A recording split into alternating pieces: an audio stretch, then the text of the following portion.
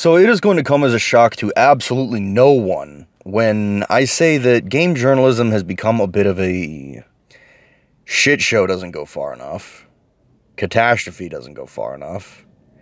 You know, I don't really have any words to accurately describe how bad game journalism has become nowadays. It's an understatement to say it's an irredeemable fucking mess. And unfortunately, I've found the embodiment of everything wrong with video game journalism with this article about the Resident Evil 2 remake over at Waypoint and Vice.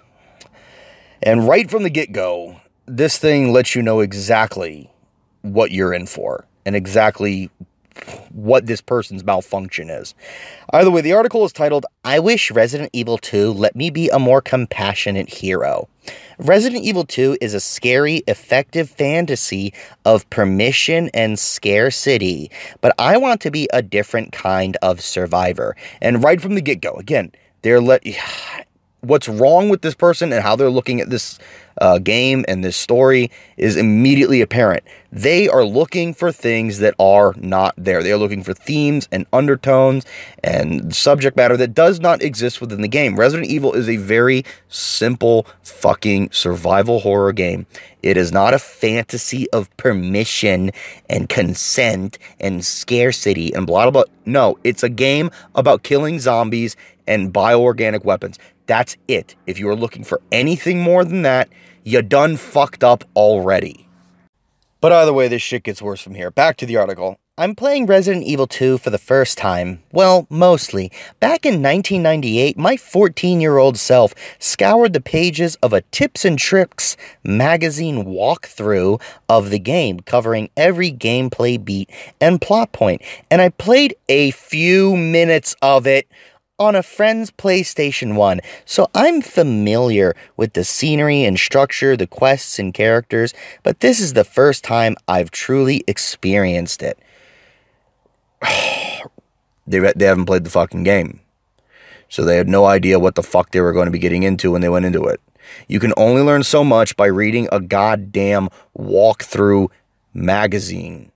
Those old strategy guides told you something about the plot, not all of it, because there still needs to be a reason for you to play the fucking game. So they're going into this thinking that, you, again, they have no real guidance about what this is going to be. And given that they haven't even played Resident Evil 2, which was re released on the N64 and I think the PlayStation 2 at one point, and the PC, and the fucking GameCube, there's no fucking excuse for not playing it. They've had more than enough fucking time, which makes me wonder if they're even a goddamn gamer at all. Either way, it's scary and tense and very much a period piece. A late 90s survival horror game, at least you got the fucking genre right, set squarely in. Uh, set squarely in the later Clinton era with dollar gallons of gas and chunky computers. I was actually more impressed by the fact that they had cigarettes for $1.26 or some shit in that game, but either way. Now boasting some modern design niceties, playing on normal. I can save as many times as I'd like, and the cutscenes and visuals are prettied up to Resident Evil 7 standards. And that's about as in depth as they go into an actual review of the game itself. But one thing that's sticking out to me still early on in the police station, I mean, you haven't fucking finished the fucking game and yet you're writing the goddamn article, is how perfectly the game uses scarcity and this fantasy of hyper competence something not exactly rare to gaming, is to make me feel a certain way, how much permission it gives me to be a total soliphacitic, solip, fucking stop humping the thesaurus. The lone survivor type. Okay, there was a couple of other survivors, but I need not interact with them in terribly complex ways or deal with the politics of survival and we're going to get into more of that later. How the fantasy here pretend presents an uncomfortable tension between the ways I want to role play in this world versus the way the game requires me to play to make it through the night. Again, role play, role play, role play. That's what the no. There, it's not a role playing game. It's a survival horror game. It's a game where you shoot zombies. This nonsense about permission and the the politics of survival. you're looking way too deeply into this fucking game.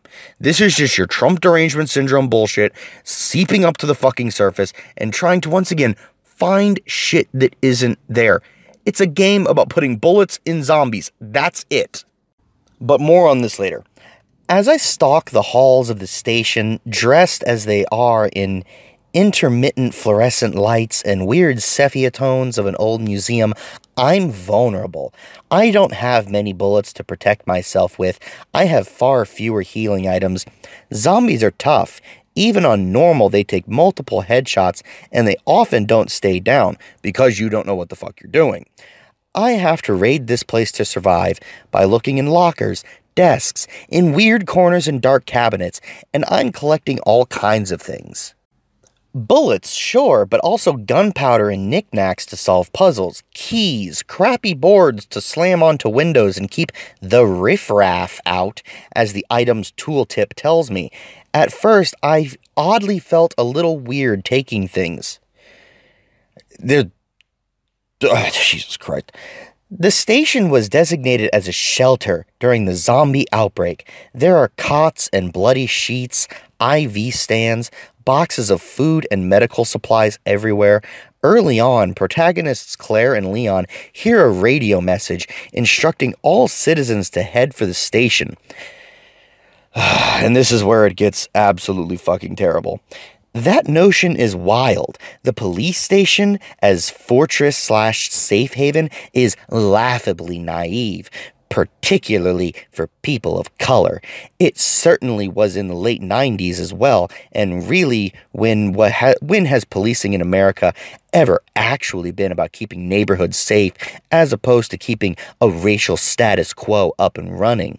Though the game does later connect the upper echelons of the police management with the evil, shady doings of the Umbrella Corporation, whose undecidedly unethical bioweapons research started the whole zombie apocalypse in the first place. Not an apocalypse, just one city, idiot.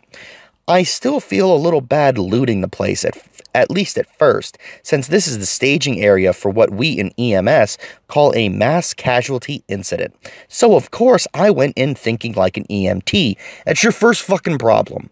You went in thinking about this game like yourself, like the real world. You're not, even by their role playing definition that they wanted to do, they're not putting themselves in the fucking shoes of the character, which is, you know, necessary for role playing. But, you know, fuck. Loosen your grip on reality for five minutes and understand that this game is about escapism.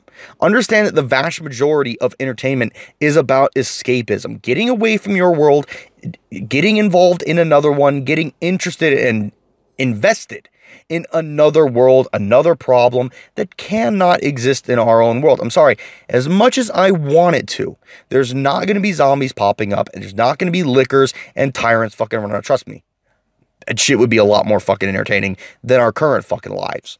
But it's a fantasy. Focus on the fantasy. Stop fucking thinking about the rest of this bullshit. Either way, so, of course, I went in thinking like an EMT, looking for survivors to help, like the nice dude who saves me from a faulty door, Marvin, who is clearly suffering from some kind of awful wound. I want to help him. Claire wants to help him too, exclaiming that we need to get him to the hospital, but he refuses. And the game doesn't give me any tools for mending wounds or even putting gauze or bandages on something. The only first aid item are hilariously magical herbs and sprays, though the guns and blood look, well, more or less like the actual thing. This is a game about dealing and surviving damage, not healing it. And after a while, I subtly give in to its goofy logic. Yeah, good, good. It's what you should have been doing from the start. It's a video game.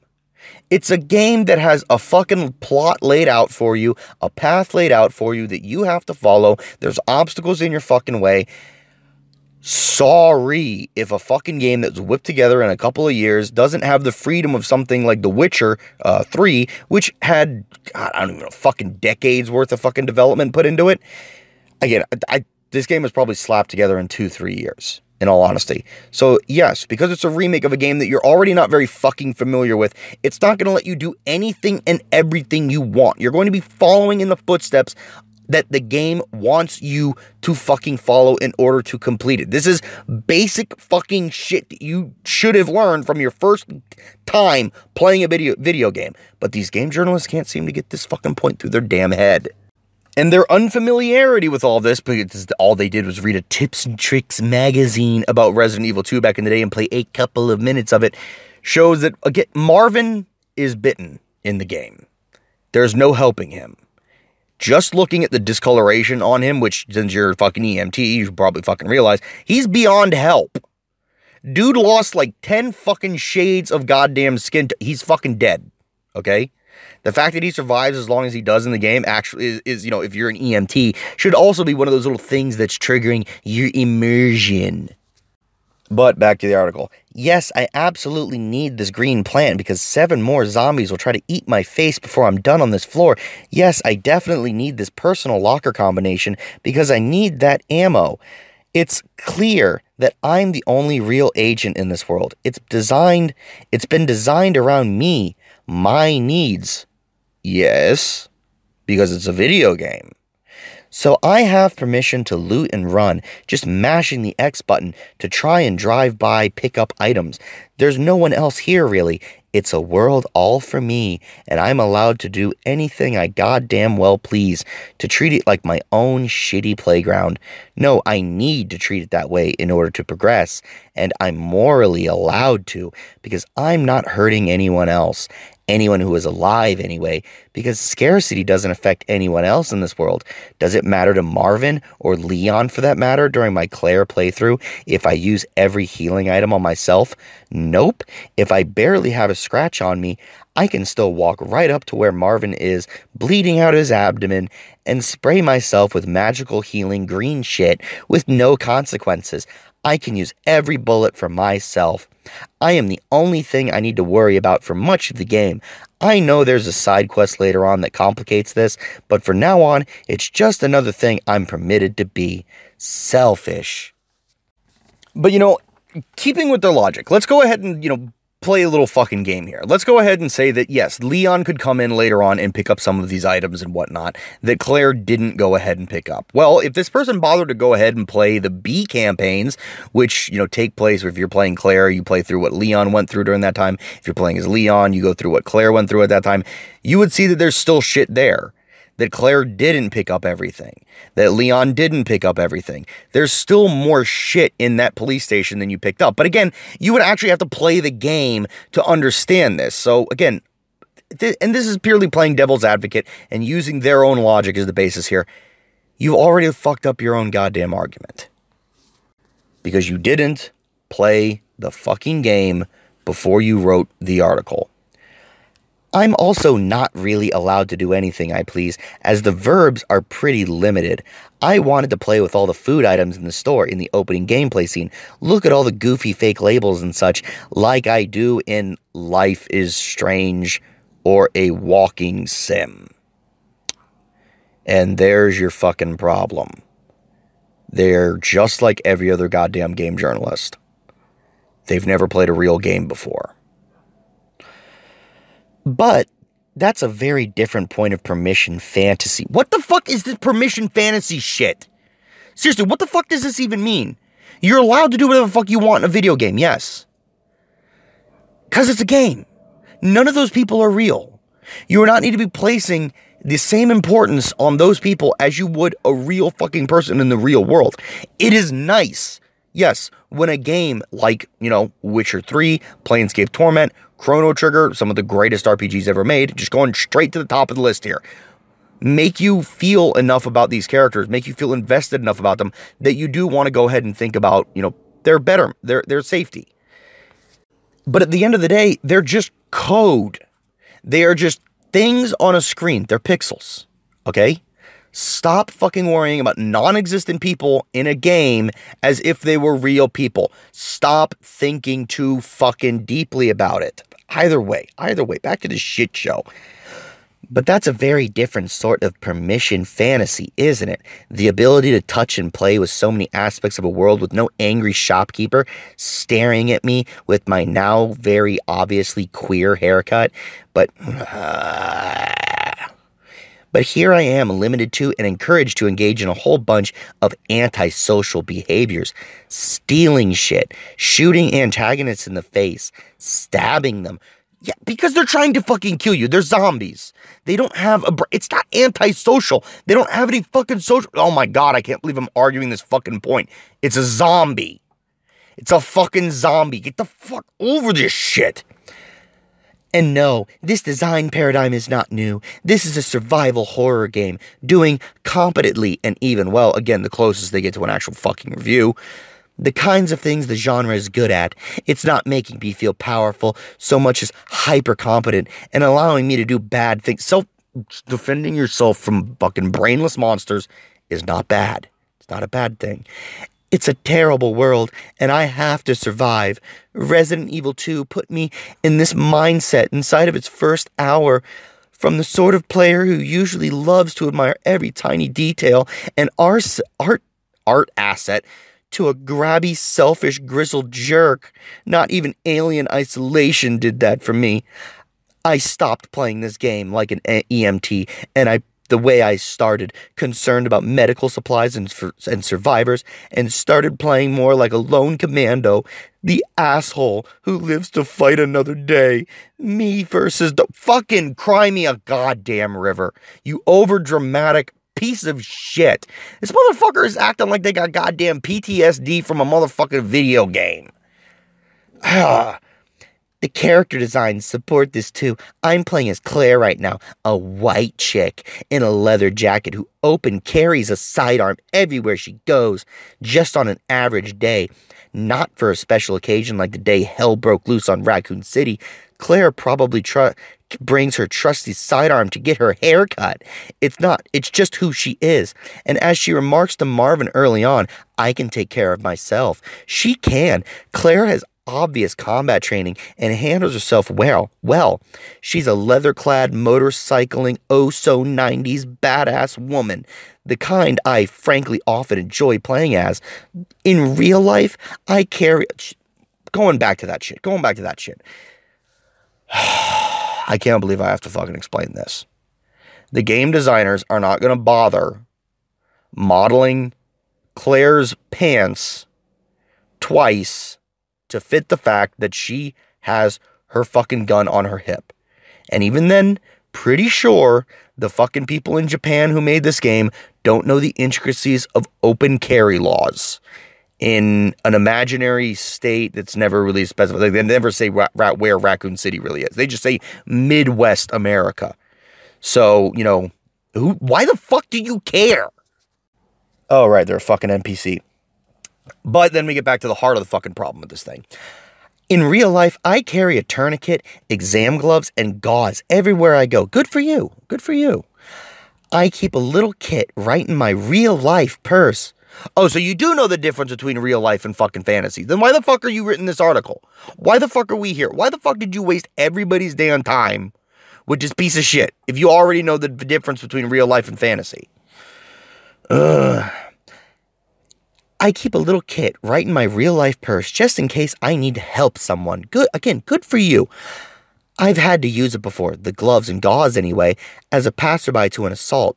I've thankfully never needed to use my supplies in a zombie outbreak. Not yet, but I'd like to think in my heart of hearts I'd be a different kind of survivor than Claire or Leon and really allowed to be, are really allowed to be in Resident Evil 2. Ugh, I need another fucking cigarette for this shit. Okay. As I've said many, many, many, many times before throughout this fucking thing, this idiot, and this has gone on way too long already, this idiot doesn't know the difference between fantasy and reality. They are looking way too deeply into this shit. The problem with every fucking game journalist. Mm.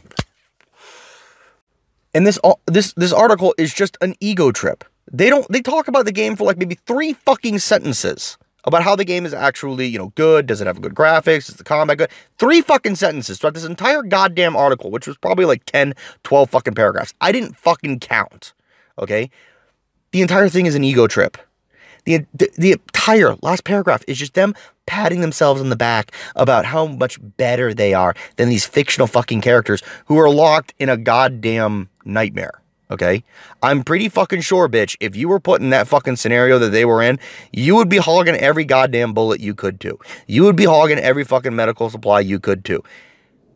I can't believe I'm fucking thinking like this. Put yourself in their position. It's a video game. Why? Why? Why do these people make me think such stupid shit? Put yourself in their position.